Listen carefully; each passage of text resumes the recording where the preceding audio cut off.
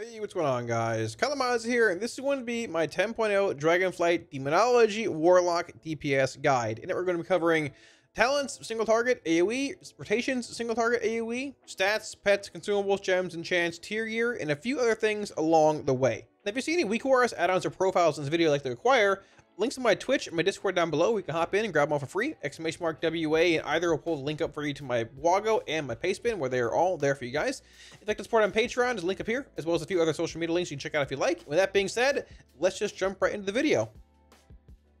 So getting into the Demonology class tree, I would say off the bat here, the class tree for Warlock is not incredibly in-depth when it comes to damage-based traits, but it has a lot of utility and a lot of defensiveness. So off the bat, Demonic Circle baseline for every Warlock spec. It's well known, it's iconic, it's Demonic Circle. One point is being spent in Fel Domination, and one point in Burning Rush. Burning Rush being a movement speed increase, but you take damage whenever it's active. Fel Domination being a pet cast reduction once every 3 minutes. Now, the cool thing about Burning Rush is that we have Fiendish Stride, which reduces the damage taken from Burning Rush by 50% and gives you a bit more of a movement speed increase as well. This makes it essential so that Burning Rush can be active nearly all the time, and you take very little damage from the effect. It's good for just, it's good in rating, it's good in Mythic Plus, it's good for that movement speed increase, and taking no damage from it is incredibly strong in Fiendish Stride. Two points in Fel Armor, two points in Demon Skin, uh, just flat damage reduction taken, a bit of Soul H value, a bit more Soul H value here as well. We're going to spend one point in Curses of Enfeeblement, getting you Curse of Tongues and Curse of Exhaustion. One point in Mortal Coil, being a short cooldown, 20% heal, and an incap if need be, going into one point in Demonic Fortitude, one point in Wrathful Minion, one point in Demonic Inspiration, and one point in Demonic Embrace. So Demonic Embrace and Demonic Fortitude, 15% stamina increase for yourself. Wrathful Minion and Demonic Inspiration, both being a, just a little bit of a pet damage increase whenever you, whenever you fill a Soul Shard, whether you're Destro, Demo, or Af, they both get the same effect. Now, coming out of this row, you have the option of Demonic Gateway here, which can be good in certain spots, okay in others, and dead in others. Now, the thing with Demonic Gateway is that if you take if you don't take this ability in certain spots, I wouldn't fault you for it. But then realistically, you don't have Shadow Fury or at least easy access to it because going through Nightmare or Greater Banish and Banish is even more niche than Gateway being bad in certain spots. So one point in Gateway, one point in Shadow Fury, one point in Sweet Souls, which is an iconic trait from Legion returning. Baseline more Healthstone healing, plus whenever somebody eats a Healthstone in your party or raid, you get that healing effect as well. Very, very strong. Now you have the option of Strength of Will or Dark Accord here. A shorter cooldown on Unending Resolve, which is your main DR, or Strength of Will, giving you a larger percent reduction on UR. Personally, it's going to depend what setting you're in. If it's like more frequent damage, you might just want to say, hey, Dark Accord. If you're in a setting where it's not as, where damage is not as frequent, but larger damage events coming in, you could just say, hey, give me Strength of Will. Up to you, personal preference. A point goes here regardless. So one point coming out of Sweet Souls into Dark Pact is very important as well. Dark Pact is a one minute cooldown. However, Specking in the frequent donor makes it a 45 second cooldown, which is exceptionally strong. A very large shield on you every 45 seconds makes it so easy, easy to negate incoming damage and raiding, Mythic Plus, and PvP. It makes it very hard to kill the Warlock with a large shield up and a UR popped. Very, very strong. Now, in the next row here, we have uh, two points in Lifeblood, just passive Healthstone healing. You have nine points left, so you can go a mix of other abilities down here. We're going to put one point in Soul Link for 10% damage being dealt to your demon, two points in Synergy, two points in Soul Conduit being a flat damage gain, chance to proc a damage increase on, either you or your pet, two points in Soul Conduit giving you a chance to refund a shard whenever you spend one. You have four points left here. Now, as Demonology, if you are playing Nether Portal the talent, Soulburn with a macro can be a DPS gain. It might empower circles and gateways and drain lights, all that stuff, but if you take Soulburn with Nether Portal, it is a 6 second cooldown off the GCD. Nether Portal gives you pets whenever you cast shard consuming spells. Soulburn consumes a shard. So, unless they fix the synergy, Soulburn is a DPS gain. If they do, I'll try to up at the comment section saying, hey, it doesn't work anymore, but currently Soulburn is a DPS gain for Demonology playing Nether Portal. You have three points left. One should go into either Summon Soulkeeper or Inquisitor's Gaze. They're both bad in damage. Uh, Inquisitor's Gaze is more single target based versus being more AoE based. They're both bad in damage, but some damage is more than no damage. And your final option here being, well, Fel Synergy, and your final option being uh, a point in Profane Bargain, a point in Resolute Barrier, Grim Feast being sort of mediocre. You can put a point in Amplified Curse. Even if you, even if you want you can pull a point out of Shadow Fury and put two points in Curse, The Satyr. You can go Banish, Greater Banish. The cool thing here, the Warlock class tree, you have some nodes you want to hit, like Synergy, Soul Conduit. these four, or these two, for example, your damage-based traits. But there's a lot of room for flexibility for utility. You need Banish, grab it. You need Shadow Fury, grab it. Gateway, grab it. Curses, grab it. Amplify Curse, grab it. If you need Fel Pact for more pet summons, grab it. You have options with the Warlock class tree. It is incredibly customizable. If you don't need any of that stuff, put two points in Profane Bargain. Less damage taken. You're a walking tank regardless, with a lot of utility. Okay, so getting into Demonology single target talents, I hope that you are a fan of Nether Portal because that is pretty much the build that you're going to end up playing. I, I, I would assume in most single target settings. So going into the first point here being called Dreadstalkers, one point in Annihilan Training, one point in from the shadows, one point Fel and Steel, grabbing Grimoire Felguard over here. I have one point in Felsunder here. You could put it in like Demonic Calling if you want for one point. You could put it in Dreadlash, I guess, I guess theoretically if you wanted for just 10% uh, more damage on your dogs. I don't think it's worth it. I think Felsunder is better than both of those, but it's up to you. Uh, Grimoire Felguard, obviously, Demonic Meteor, two points in Ripped Through the Portal for your second or third dog. Uh, Tyrant, obviously, Soulbound Tyrant, two out of two. Grand Warlock's Design. On the left side here, obviously Demon Bolt, one point in Demonic Knowledge, one point in Shadow's Bite, one point in Dread Calling, one point in Power Siphon, importantly, one point in Inner Demons. Now, this is going to be a Nether Portal slash Demon Bolt hybrid build which you're playing both you're playing the best of both worlds because your two piece amplifies demon bolt damage, obviously, and your two piece doesn't need empower Felstorm, but you're getting that demon bolt damage amp, which is further amplified by Fel Covenant, by Power Siphon, by Sac Souls. You also have Nether Portal and the full value that it brings. So you're playing Portal. There's Rules of Volition and Gul'dan's Ambition, which is your Pit Lord. This is a bit of RNG going into your Pit Lord. So Power Siphon here, two points in Fel Covenant.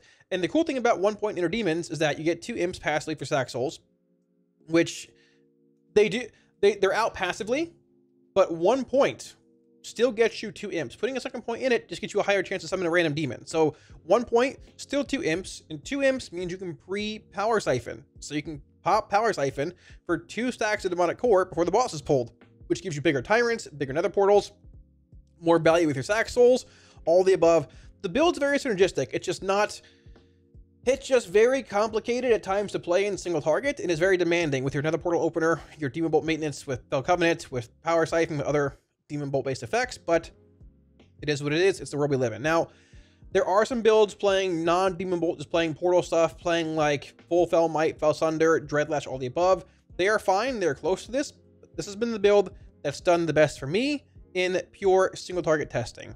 Now, if you're looking at playing more of like a cleave build, something along the lines of still playing Portal, but having access to Implosion over here, having access to Antoran Armaments, which gives you more Felguard damage, more Felguard damage, more Felstorm, more Demonic Strength damage, Expendables here, still the same Tyrant Empowerment, Tyrant, Summon Tyrant, uh, or Tyrant, Soulbound Tyrant, Grand Warlock's Design, still Portal, still still Ner'zhul's, and still Gul'dan's, but no Fel Covenant here. You're going over here into Antoran Armaments, once again, Fel, Fel, Felguard damage increase, uh, a little bit of a little bit of Soul Strike value, but not a big deal. Soul Strike just sort of whatever. We're not even playing it anyways. We're playing Vile Fiend, and we're playing Expendables here. So Implosion, obviously, for AoE. You are indeed also playing Dreadlash, and this build's good in like stacked cleave, Dreadlash, Dog Chomps, third dog, FTS, third dog being here, and Imp Gang Boss. So we'll talk about this build in the in the rotation section in a minute here as well. But stat cleave, a lot of fights in this raid are stat cleave or cleave based fights. You want implosion, you want you want dreadlash, you want this for felstorm damage.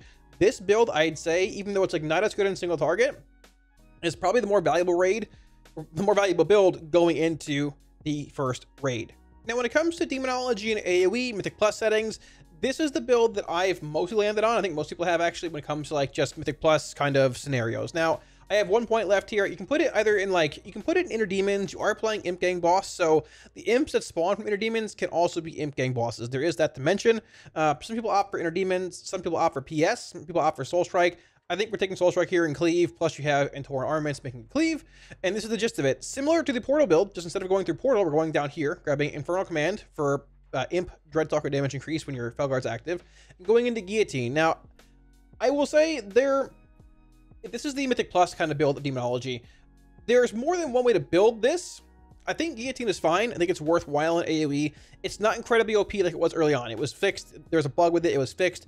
It's fine for what it does, but Demonology's profile, even without Guillotine, is big stacked cleave. You've got Soul Strike cleaving, Implosion, your third dogs, your third dog, Dreadlash, FTS, Imp Gang Boss giving larger implosions, Felstorm, Demonic Strength, Fel Might, Fel Sunder, you've already got a lot of like just stat cleave with Demo. Now you can certainly have more with Guillotine. This is the general build I've seen in most Mythic Plus settings. However, there was some changes towards the end of beta that were going like this. They're pulling points out of here and going Ner'zhul's or Nether Portal, uh, I'm pulling a point, I believe, from Expendables into Gul'dan's Ambition, which you don't get Guillotine, you don't get Expendables, or you don't get Infernal Command. You have one, two, three, four, five, six, seven, eight, nine. Theoretically, you can pull a point from up here, just go like this and go into Expendables if you wanted either way. But this build here gets a lot of single target Mythic Plus with Portal, Ner'zhul, Gul'dan's. A lot more than you think, and you still get the big Demo Cleave profile because, like I said, you still have Demonic Strength. You still have DS, you still have Felstorm, you still have Fel Sunder, you still have Implosion, you still have your third dog, you still have Dreadlash, you still have FTS, still have Imp Gang Boss. You still have that huge cleave profile. Now, I do feel that this build's a, bit, a little bit more, maybe the word advanced isn't the right word to use, but Portal Management Plus is certainly uh, a wild thing. Um, but if you're looking for more single target, which, being honest, this build here, which is recommended for most Mythic Plus stuff, is Demonology, sort of lacks. It might seem like it's good. Demo's fine in single target, but a lot of its single target power lies in Portal, Ner'zhul, Dance, and Demon Bolt. And this build's not playing any Portal and no Demon Bolt. So I tested this build last week of beta, last Mythic Plus testing week, like going into Portal and this, and I thought it was really solid and felt like we really didn't lose a whole lot not having Guillotine or Infernal Command. So up to you. Links down below to both, but uh, both are good in AoE. Demo just feels good. Now, when it comes to gems in Dragonflight, you're limited to one Primalist gem at a time, and the one you want to acquire is the Fierce Illimited Diamond, granting 75 primary stat and 66 haste. Now, if you're looking for more just general quality gems you can wear more than one of, the Quick Ysemerald grants a whopping 88 haste. However, this is a pure secondary stat gem. There are a handful of gems that have two secondary stats on them. For example, like Keen Ysemerald, granting 70 haste and 33 mastery and Keen Neltharite granting 70 Mastery and 33 Haste. Now, if you're playing Affliction or Demonology, chances are high you're going to want either Quick Ysemerald, Keen Ysemerald, or Keen Neltharite with your one Fierce Illimited Diamond. If you're playing Destruction, Crafty Ysemerald granting 70 Haste and 33 Crit, or the Crafty Alexstrasza granting 70 Crit and 33 Haste are possibly the better option for you, but in the long run, Sims would be the best way to tell what gems are best for your own character. Getting into enchants, Sophic Devotion is going to be the weapon enchant you're after in Dragonflight, and it is a primary stat increase for 15 seconds whenever it procs on your main weapon. Your cloak enchant will be homebound speed, which is unsurprisingly a speed increase. Your chest enchant will be waking stats, which is a baseline stat increase on your chest. Now, bracers are an odd spot. You have devotion with speed being theoretically your best enchant in Dragonflight. However, Eternal Intellect is still an option from Shadowlands due to the fact that it's not eye level capped or restricted by any means. So theoretically, you still can get Intellect on your bracers, but we'll see if that lasts in the actual Dragonflight launch. If that doesn't last, Devotion of Speed is the best option. On your legs, you want to acquire Frozen Spell Thread. Now, you can make these yourself if you're a tailor, or you can work order them from a tailor somewhere to get the actual intellect and stamina increase on your legs. Any caster can get these in the game via a work order, even if you're not a tailor. Your boots, you want Plains Runner's Breeze on, which is, unsurprisingly, a speed increase. And your ring is most likely Devotion of Haste, however, it could be Mastery, depending on what your spec you're playing. The best way to tell is going to be running a raidbots.com sim for your own character to tell on your actual ring enchant. Now, as far as other enhancements are concerned in Dragonflight, your main flask or phial will actually be Phial of Elemental Chaos, which grants secondary stats in a random bonus effect and lasts half an hour. Your main potion will be Elemental Potion of Ultimate Power, granting a large amount of primary stat for half a minute on a 5 minute cooldown. You'll want to use Howling Runes in your weapon to give you a large amount of haste for 2 hours, very similar to Oils and Shadowlands. And as far as food is concerned, Grand Banquet of the Kalu'ak, which is a feast, grants you 76 primary stat. If you don't have feast though, Things like Fated Fortune Cookies, which gives the same of primary stat, or Timely Demise slash Sizzling Seafood Medley give either pure haste or a mix of haste and mastery, which will most likely be your best bet when it comes to personal food in Dragonflight. So when it comes to Demonology's two-piece and four-piece tier set in Dragonflight, it is called the Scalesworn Cultist set, and the two-piece straight up passively, Demon Bolt and Felstorm damage increased by 20%. Now, there are a lot of Demon Bolt builds being played in single targets, and Demon Bolt hybrid builds with Nether Portal and things like that. So buffing Demon Bolt's damage is solid. You've got things like Power Siphon, things like Inner, eh, Inner Demons with Sac Souls, Sac Souls, Fel Covenant. buffing Demon Bolt damage even more. Plus, it's a decent bit of our damage. I think it's like 5-ish percent. It's a little bit. A solid passive buff. But the bigger buff, the two-piece, or the bigger thing, is Felstorm. The 20% increase to Felstorm damage is massive. On top of Felstorm, just baseline buff there, we have Annihilan Training. 20% more Felguard damage. You have Antoran Armaments. Your Felguard deals 20% more damage. You have Fel and Steel. Felstorm deals 10% more damage. You have Demonic Strength. Your Felguard deals 400% more damage when you cast Demonic Strength in a Felstorm. There's so many stacking Felstorm damage amps on top of just Fel Sunder and Fel Might being good on their own that work well with the two piece, with the four piece. To be fair, there's not much synergy here. It's just worth mentioning the Felstorm, you know, kit. But there's a lot of just raw value in that 20% Felstorm damage amp that Demonology has in the two piece. Now, the four piece says Demon Bolt has a chance to make your next Hand of Gul'dan instant and deal 50% increased damage. It was buffed a few days ago to 150. It might not have made it to beta yet, but the 150 buff is nice. This is a pretty minuscule damage increase, being 50%. It's something at 150, it's fine. I'm not a huge fan of the instant cast hand at times. It's a little unpredictable, but at the same time, with more play, getting used to it, I'm sure it'll be fine. Uh, it, it is a bit of a DPS increase being instant cast, a minor one. And the 150% damage increase, if you're cleaving with a plus with Hand of Gul'dan cast, it's going to be good. Even in single target, it'll bump Hand of Gul'dan cleave, I guess, splash damage up a little bit, even if you're just hitting one target. Overall, on a scale of, uh, uh, from A to F, this is probably a solid solid B, B minus but it's really carried by the two piece. Demon Bolt and Felstorm damage increase is the better of the two bonuses, hands down.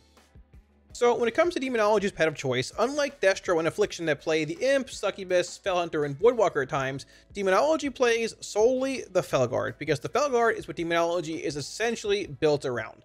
Now our talents, Demonic Strength, Fel Might, Fel Sunder, Annihilan Training, Antoran Armaments, Fel and Steel, they all revolve around the Felguard's damage, increasing its damage, or modifying abilities to make it do more damage. The Felguard is the glue that holds Demo together, being your only real pet of choice. Now, it has three abilities the first being Axe Toss, which is a half minute cooldown that is basically a 4 second stun and or interrupt. It was changed to being an interrupt in early Shadowlands, and this replaces your Felhunter, sort of, as Demonology being your kick in Mythic Plus. The second ability is called Felstorm, which is on a baseline half minute cooldown. However, it can be 20 seconds if you're playing the Fel Might talent, and it basically causes your Felguard to just spin in a whirlwind kind of effect, dealing damage to every mob that it hits.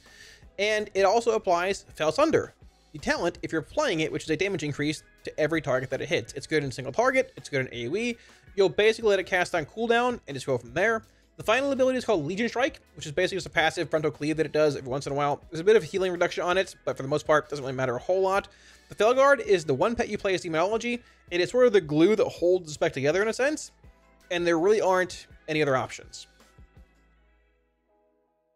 So, when it comes to Demonology's Nether Portal, Demon Bolt Opener playing Power Siphon, the gist of it is you want to cast as many individual shard consuming spells as possible while your nether portal is active. Now, you can pre-cast Power Siphon before the boss is pulled, thanks to Inner Demons having two imps out, which gives you two stacks of Demonic Core before the boss is pulled.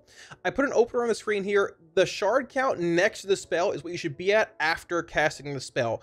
This rotation is also with zero Soul Conduit refunds. You will get Soul Conduit re refunds at times. You have to learn how to react to them from pole to pole. There's RNG in the demo opener, but the big thing, follow the prio system of opening on precast power siphon, two shadow bolts to five shards, nether portal to four shards, then soul burn macro instantly, Grimoire Felguard, summon Vile Fiend to one shard, and then without any refunds, you cast Demon Bolt to three, call Dreadstalkers to one shard, then Soul Burn, Demon Bolt to two shards, Hand of Gul'dan to zero shards, Trinkets, Potions, Racials here. This is to buff the Pit Lord. Then summon Demonic Tyrant, which brings five shards thanks to Soulbound Tyrant. Hand of Gul'dan, Soul Burn, Hand of Gul'dan. Then Demonic Strength, and right after Demonic Strength, cast two Shadow Bolts to stack Fel Covenant, four stacks, refresh it before it falls. And you build the five shards via Shadow Bolt, cast Power Siphon once off cooldown, cast Call Dreadstalkers, cast Hand of Gul'dan, and dump those Demon Bolts. Now, once again, this opener will change a lot depending on chart funds, RNG. That's just the nature of Demonology and its opener. The best way to learn it is practice the rotation multiple times on a dummy, watch part of this video over and over multiple times, and get used to spamming Soul Burn as much as you can when it's off cooldown using the Soul Burn cancel or macro below. RNG is RNG, Portal's RNG, but with practice, the opener is not as complicated as it may seem. So when it comes to Demonology's Tyrant setup in combat, as long as you're playing Grand Warlock's design, your Tyrant will be a 1 minute cooldown and your Vile Fiend is 45 seconds. So you hold every Vile Fiend for Grand Warlock's design as long as you're playing it for that 1 minute Tyrant profile. If you're not, cast Vile Fiend on cooldown, it'll line up every minute and a half for your Tyrant. So as long as you're playing Grand Warlock's design, 1 minute Tyrant, you'll build the 5 shards via Shadow Bolt. You want to have 3 Demonic Core procs for this, which is instant cast Demon Bolts. Build the 5 shards, cast Vile Fiend to 4 shards, 1 Shadow Bolt back to 5 shards, and then cast Called Dreadstalkers, which without refunds should put you at 3 shards. At this point, you cast Demon Bolt back to 5, Hand of Gul'dan, Demon Bolt, Hand of Gul'dan, Demon Bolt, Hand of Gul'dan. Then at this point, if you have no shards left, you can cast Summon Demonic Tyrant. If you have anywhere from 1 to 3, cast one final Hand to Gul'dan. As long as you have enough time remaining on your Called Dreadstalkers and Vile Fiend to not time out, and then cast Summon Demonic Tyrant. This should get you a baseline, 9 Imps, 9 to uh, like 12, depending on RNG and refunds, three called three dogs being called Dreadstalkers in your Tyrant, and the Vile Fiend extension. As long as you're staying in combat, your Tyrant is roughly a minute cooldown every single time playing Grand Warlock's design. So when it comes to demonology cooldowns and implosion rotations slash AoE, this is the opening you want to follow. If you have full CDs, everything heading into a pack, you'll build the five shards, cast Grimoire Felguard, cast a Shadow Bolt, then cast Called Dreadstalkers at five shards down to three, cast two Shadow Bolts to build the five, or a Soul Strike if you have the talent selected, Hand of Gul'dan, Shadow Bolt, and typically Hand of Gul'dan. You can get more imps in there if you have Demonic Core procs. Then cast Summon Demonic Tyrant and Demonic Strength. Now, it's very important to note here that you also have the Guillotine talent in AoE at times. Guillotine, casting a Guillotine while Demonic Strength or Felstorm is being cast will cancel the Demonic Strength or Felstorm cast. You want to make sure that he's not doing either when you cast your Guillotine. Once the Demonic Strength ends, then you can cast the actual Guillotine, and you're good to go. Besides that, you're casting dogs being called Dreadstalkers on cooldown, and you're imploding. Now, the implosion rotation has changed a bit due to the talent Imp Gang boss being, well, given to us in Dragonflight. Imp Gang boss says summoning a wild imp has a 5% chance to summon an Imp Gang boss instead. An Imp Gang boss deals 50% increased damage, but the big thing here is that when Imp Gang bosses are imploded, they summon a wild imp. That wild imp can indeed also be an imp gang boss. So this sort of changes how you want to implode in a sense in Dragonflight. You still, you know, build a handful of imps, but you want to implode before the imps expire. So I have a, an actual imp tracker to the right of my character here on my character screen when they reach that final one being like their one final firebolt cast, that is when I'm imploding. Well, typically you do still have a handful of imps being, I don't know, 6, 9 to 12, depending on refunds and casts like that with the amount of core stacks and all the above. The big thing, you want to implode before your imps start expiring. So you might have a set that has, you know, one cast left, a set that has three casts left, and set you just summon that has six casts left. But you want to implode before the first set expires because if you let an imp gang boss expire, it will not spawn another imp. It's only when imploded. Now, outside of that, you still want to cast Called Dreadstalkers on cooldown. You want to keep casting your normal rotation for the most part, and just focus on imploding before imps expire in AoE or two or more stack targets. Now, outside of that, Demonology is basically the same. You don't want to implode when your Tyrant is active, unless you have to for whatever reason. You'll have very large implosions coming out of your Tyrant, being 20 plus imps, and when 9, 10, 11 of those, even like 5, 6 are Imp Gang bosses, when you send that massive implosion, you get 5, 6, 7, 8 imps back, which half them can be Imp Gang bosses again. So that goes into another implosion, and it chains from there. Imp Gang bosses change the way Demonology plays in Dragonflight in a fun way in AoE. Implosion was already fun, but Imp Gang boss, imploding all of your imps and getting half them back, feels really good and really rewarding. Thanks for watching, guys. That should just about wrap it up. Uh, like I said, honestly, Demonology, I think, is in a pretty good spot heading into the Dragonflight. Mythic Plus, we've got a good stacked AoE cleave profile with Implosion, Felstorm, Demonic Strength, Bombers if you want it, uh, Dog Cleave, even though they've been nerfed multiple times, Imp Gang Boss, all of that. And our single target is not bad. It can be even better if you shift towards more of a Nether Portal single target kind of build in Mythic Plus the most customizable. It might not be incredible in like spread cleave scenarios, like where there's two bosses or two targets that are just, you know, 10 yards apart, but hey, we have Destro and uh, we have after that. As far as raiding is concerned, I think it's in a good spot. A lot of the raids this tier, a lot of the fights this tier, have a lot of movement on them, which doesn't really favor Nether Portal as much, but there is stat cleave, a lot of single target prio cleave as well. So I think Deimo's in a pretty solid spot overall, heading into Dragonflight and uh, Vault the Incarnate. So, and once again, any weak WeakAuras add-ons or profiles you saw in the video you'd like to acquire, have a link to both my Discord and my Twitch down below if you want to hop in them. Uh, grab them in either place, exclamation mark WA in chat, Twitch, and or Discord will pull it up for you. And uh, yeah, with all that being said, I want to give one final shout out to my patrons. Again, thank you a million times, guys, for all support on Patreon. Really, truly appreciate it.